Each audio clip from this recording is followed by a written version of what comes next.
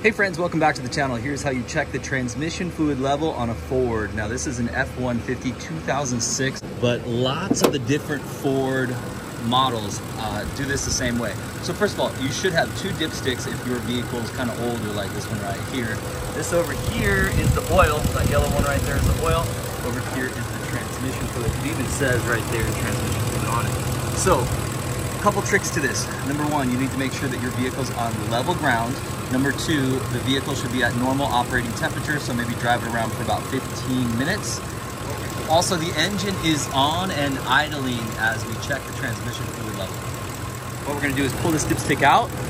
And by the way, engine's running, so look, that fan is spinning. You need to be careful. Long hair, long sleeves, be very, very careful when you're doing this. So first thing we're gonna do is pull out the transmission dipstick, and we're just gonna clean it off. Next, we're gonna put our dipstick back in. And make sure when you do this, you put it all the way in. It needs to sit 100% completely down. All right, and then this one right here we'll pull out carefully. This is the one that we'll actually see the level on. Okay, it's a little bit hard to see, but the transmission fluid's right up to right about here. And this is the top of the cross crosshatch. So right here is what we're going for. So right now, looks to me like we're about a half a quart or so short.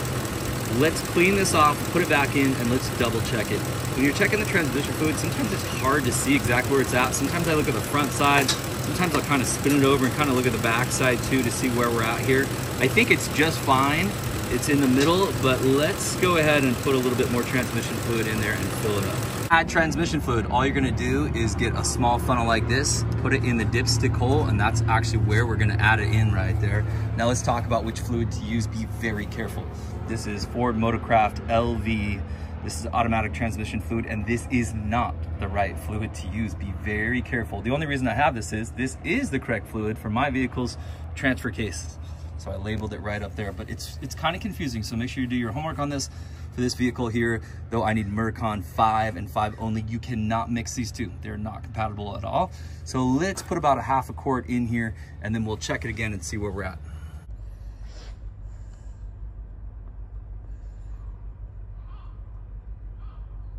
Okay, after adding more fluid, you can see, hopefully, that it looks like it's right there, right at the top of the crosshatch. Again, you might consider, if you hold it up to light just right, maybe even spin it over and kind of see, this side, back side even looks more good. It's right there at the end of my thumbnail. And that is just about exactly where we're supposed to be. Okay, we'll clean this off and put the dipstick back in. Hey friends, hope today's video helped you out. If it did, give it a thumbs up, subscribe to the channel. I got lots of other videos on these Ford trucks, so subscribe to the channel. You can look out the playlist that I have too. All right, my friends, have a great day.